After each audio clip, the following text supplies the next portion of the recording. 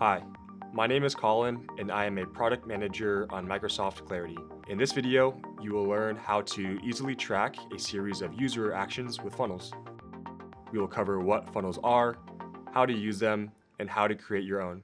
While it is always important to track individual user actions like the number of purchases or signups, it is also important to track the bigger picture. What actions did the user take on the way to a conversion? For example, did a user visit a sale page before buying? How many users that started a checkout completed the purchase? Or how many users signed up after visiting a specific landing page? With funnels in Microsoft Clarity, you can gain a complete understanding of these scenarios. Funnels build on smart events and help you understand the conversions or drop-offs in a specific user flow. Be sure to watch our previous video about smart events to learn more. To view a funnel, navigate to the funnels card in the dashboard.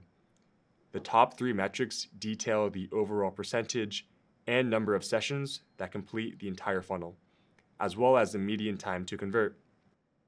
The bars detail each individual step of the funnel. The light purple represents the percent of sessions that converted from the previous step, while the dark purple represents the percent of sessions that did not convert from the previous step. Easily view heat maps and recordings to dive deeper into user behaviors. For example, you may want to watch recordings for sessions where users dropped off right before purchase. To view a different funnel, select the drop-down and then your interested funnel. You can also set a default funnel by pinning it. When a funnel is pinned, it will always show up first in the funnels card. To view what steps are included in a funnel, navigate to the Settings panel. To edit the steps, select the funnel name or click on the pencil icon. The left side of the module lets you add a funnel step from the list of smart events or page visits. The right side shows the steps in order. Select and drag from the left to the right pane to add steps, or select the X to delete steps. Save once you are finished.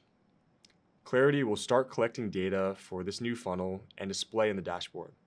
To create a completely new funnel, select the New Funnel button you'll see a similar module with all the available signals to add. Simply drag and drop from left to right, then name your funnel and hit save. Tip, when adding a page visit as a funnel step, be sure to provide a short descriptive name in place of the URL. Thank you for watching this video. See you in the next one.